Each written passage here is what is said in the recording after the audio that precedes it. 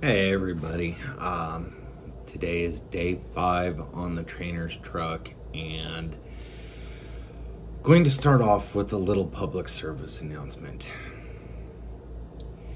When you are behind the wheel of a motor vehicle, does not matter what kind of vehicle it is, you are, it is your job to operate that vehicle safely. It is your job to manage the space around you. It is your job to pay attention to what you are doing. And especially if you are in a commercial vehicle. Uh, today on the Ohio Turnpike, um, around mile marker 76, headed westbound. At the bare minimum, one one trucker lost his job, probably two. Um, there was an accident involving an empty car hauler and a loaded uh, dry van. Uh, regular box van.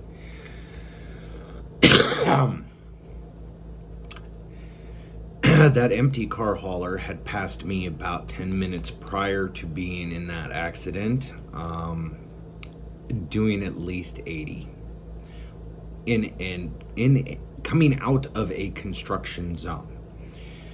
Um, I don't know how fast he had gotten up, but he was rolling coal as he passed me. So uh, I was doing 68 in the 70 and he was rolling coal. His truck had to be, you know, he had to be extracted from his truck. I don't know. Um, I don't know his condition. I don't know if he lived through it. I don't know if he if he died. Uh, but what I do certainly know is that um, he's at the bare minimum losing his job, quite possibly going to prison for causing an accident uh, with injuries uh, due to basically reckless driving. It's one thing to drive like a fool in a four wheeler You don't drive like a fool when you got a freaking truck. Okay? There's no reason for that. We are professionals, we are trained, we go through training. There is no need for that.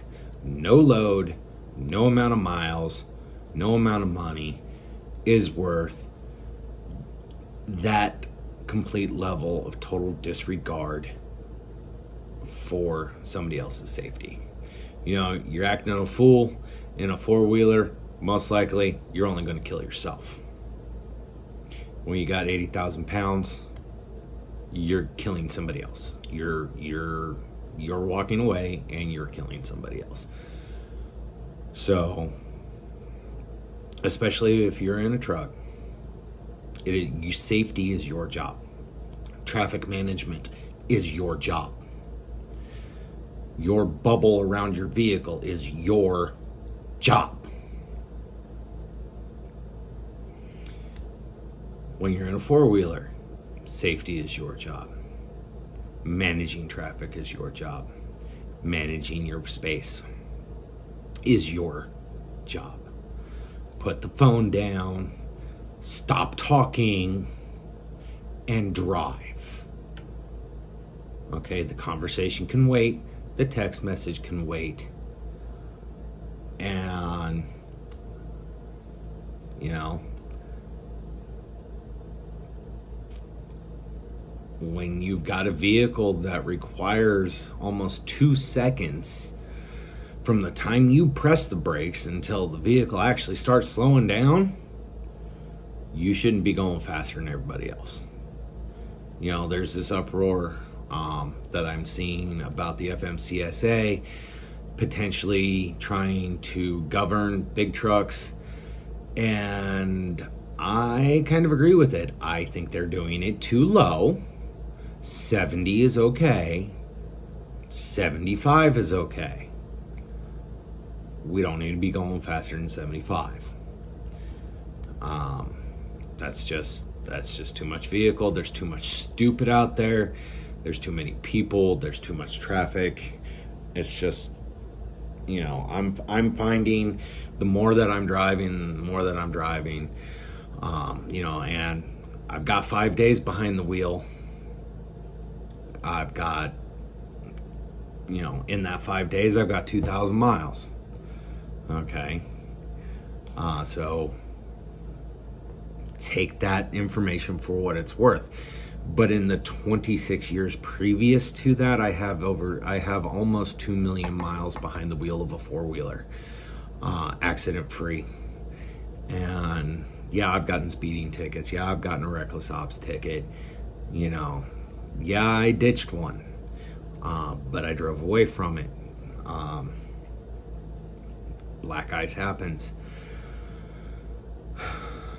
I also have, you know, advanced training in operating a passenger car, um, you know, with racing and stuff like that. And I enjoy driving, so I, you know, increase my skills and my traffic management and whatnot. And a lot of my tickets and speeding tickets come from managing traffic around me because in a four wheeler, if you're driving kind of stupid in a controlled way, that is managing your space because people will notice you, acknowledge you, and back off of you. Um, can't do that in a big rig, but there's, you know, there's other ways of doing it in a big rig um, other than hooning around. So be fucking careful out there. Pay attention. It's not that difficult to do it. Okay? Throw on some damn tunes, look up, look out, put the phone down, shut your mouth, ignore everything else that's going on in the vehicle. The phone call can wait. You're not that damn important. If you're that damn important, you should have somebody driving you. Okay. Now that that's done, on to um, the kind of, you know, the, the blog vlog uh, thing for the day. It's not a whole lot. Um, I may be a little extra grumpy today because I was woken up at one o'clock in the morning last night um, by the fire alarms in the hotel because uh, the the guy man in the desk he was making cookies in the kitchen and uh, he got busy with another customer forgot about the cookies and then like half hour later was like oh fuck cookies ran in the kitchen opened the oven smoke billowed out and it set off the fire alarms. Thankfully, it didn't set off the sprinklers, uh, just set off the fire alarms. Um, but so that that woke me up, and it took me about till almost four o'clock to go back to sleep, and I had to be up at five. Um, preferably up at four thirty, but um, you know, I, I ended up I ended up snoozing the five o'clock uh, twice, so it was more like 5:20 when I got up. So there was no uh, there was no exercising this morning, uh, no stretching, no nothing. Um, been trying to stretch, uh, um, get my get get some of my flexibility back. Um, so it's a work in progress. Uh, so tonight, uh, you know, I've eaten dinner. Um, I was going to go to Walmart uh, since it is uh, payday, but it is like 96 degrees outside. It's a two mile walk each way. I'm not going to Walmart while the sun's up. Um, I I will either do it. I'll probably do it tomorrow after work, um, or Sunday morning, one of the two. Um, because I'm just not. I just can't even.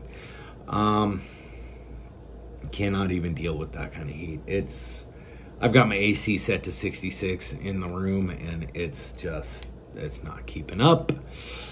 So I'm doing laundry um, in a very small washing machine. I'm used to a much higher capacity modern washing machine. This one looks like it's about as old as I am.